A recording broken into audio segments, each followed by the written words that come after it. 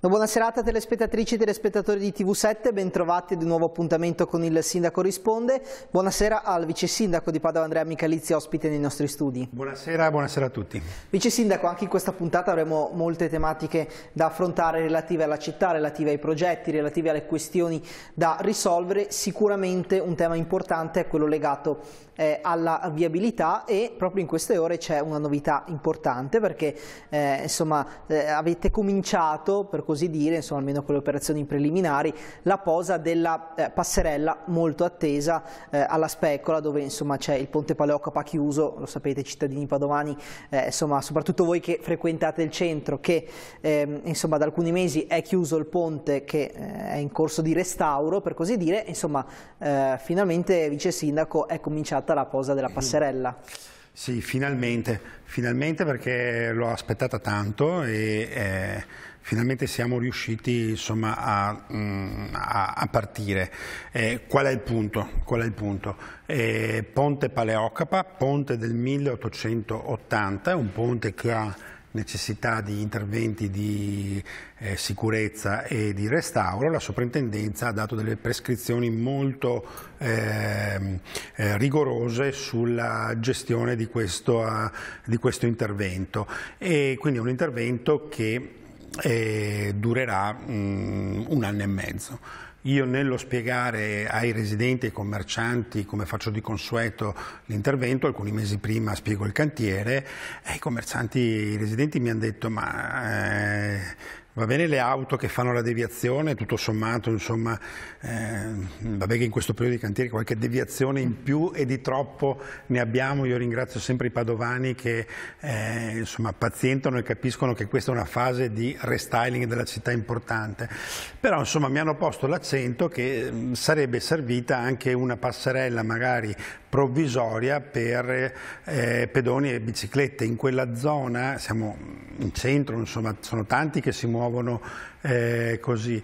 E quindi mh, mm, ho accolto, raccolto questo suggerimento, in effetti non ci avevamo eh, pensato e così migliorerebbe la convivenza col cantiere. Quindi ci siamo adoperati immediatamente, abbiamo coinvolto anche l'esercito che verrà a montarci una passerella provvisoria, eh, si monta in una decina di giorni, quindi oggi sono iniziate le prime operazioni e quindi tra, tra poco finalmente si potrà eh, transitare a piedi in bicicletta, ci sono un po' di attività commerciali, c'è l'università, ci sono delle residenze, insomma è giusto tenerli in contatto. È stato molto complicato perché abbiamo dovuto mettere insieme, a parte un finanziamento da 115 mila euro che di questi periodi non è... Diciamo che dire, ne avreste fatto volentieri a meno Cosa semplice, ma per, eh, come dire, i cittadini, insomma, eh, eh, se si può, eh, soprattutto in questo periodo in cui la città è anche appesantita dai cantieri, migliorare la convivenza dei cantieri è un po' un nostro, una nostra attenzione ecco, per, per, quanto possibile. E, ma abbiamo dovuto passare per i pareri obbligatori del genio civile che è proprietario dell'area, perché quello è un canale, seppur interno, ma comunque un canale importante. Certo. Eh, il tronco maestro e, del civile, e del, scusa, della soprintendenza che ha dovuto valutare la, la posa insomma, e le caratteristiche di questo, di questo elemento e la temporaneità. Quindi la montiamo, starà su circa un annetto e per un annetto sostituirà per, per, pedoni e ciclisti, insomma, il ponte Paleocrapa che è in restauro. Sì, insomma, e soprattutto aiuterà ad evitare insomma, giri eh, decisamente più lunghi e percorsi più lunghi certo. ai cittadini padovani. In generale, però, Vice Sindaco, voi state intervenendo molto sui ponti, so che avete eh, diversi lavori in corso o comunque pronti a partire, ci può eh, magari riepilogare i principali? Ma sono alcuni milioni anche che eh, grazie al PNRR che tra le varie linee di finanziamento aveva anche quella della sicurezza delle infrastrutture. Devo dire che dopo Genova il tema è tornato dire, forte a livello di linee di finanziamento ministeriali e noi ci siamo fatti trovare pronti perché avevamo già un'indagine eh, su tutti i nostri ponti, pensate Padova tra ponti e passerelle ha eh, circa 200 infrastrutture, quindi insomma non una cosa da poco. Per no, anche città... perché insomma, devono essere poi tutti controllati, monitorati, perché sappiamo l'importanza. E guardate che il censimento è stato uno dei problemi più importanti, il censimento non catalogarli, come dire, numerarli semplicemente, ma reperire per esempio i progetti dei ponti, perché alcuni sono molto vecchi, molto antichi e, e, e, quindi è stato un lavoro importante fatto con l'università. Avere il progetto è come avere una radiografia di un paziente. Ma com'è possibile, vice sindaco, mi scusi se la interrompo, le chiedo, com'è possibile che nel tempo questi progetti si siano persi, non si è mai pensato di, di amministrazione in amministrazione tenerli lì perché sarebbe servito un giorno o l'altro andarlo a riprendere? Allora io non le so dare risposta perché non c'era. sono tempi molto... però pensate a recuperare il progetto del ponte Paleocapa 1880.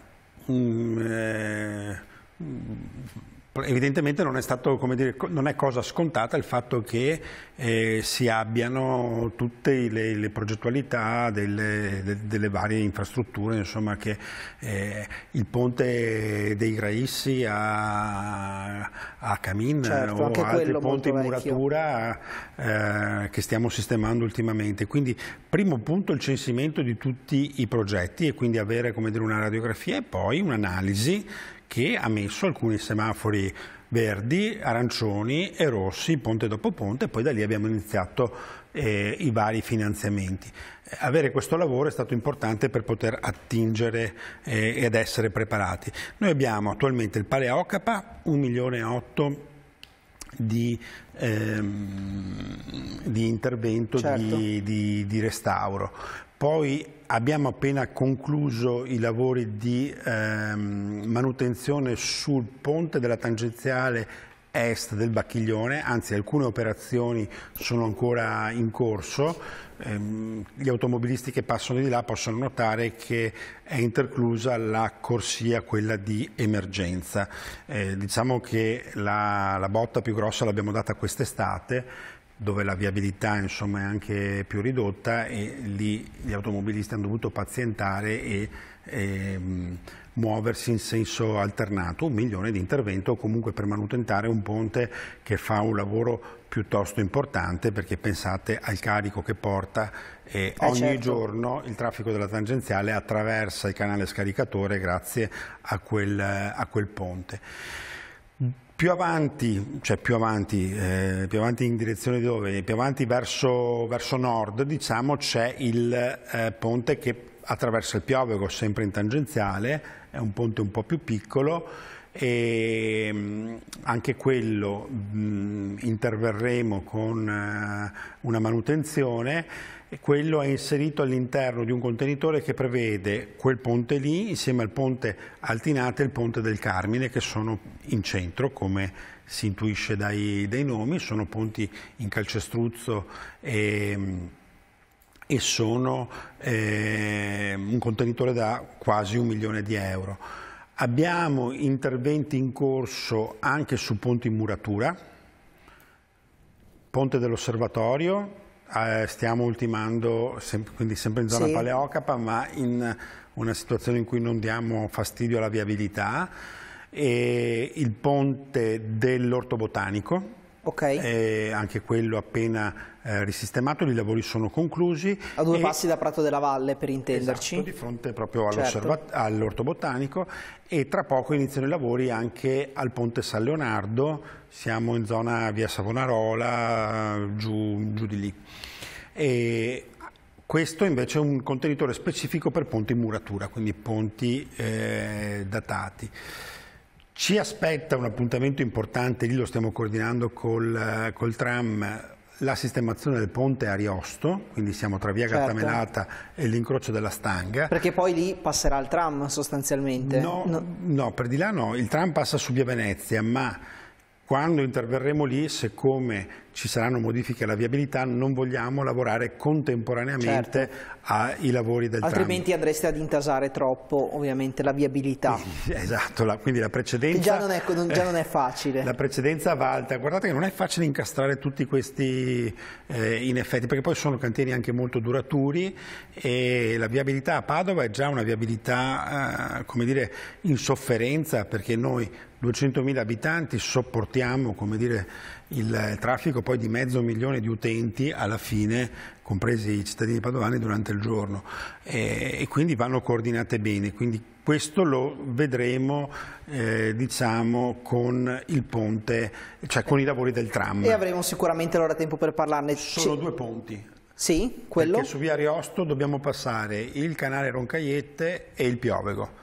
Quindi, insomma, ha ragione perché piuttosto... ci sono due. Ce ne sono due. Ci prendiamo una breve pausa, torniamo sì. uh, subito dopo, continuiamo questa analisi insomma, sulle infrastrutture uh, di Padova perché ci sono anche altre novità importanti che tra un po' vi diremo. Rimanete, rimanete con noi, a tra poco, con il sindaco risponde.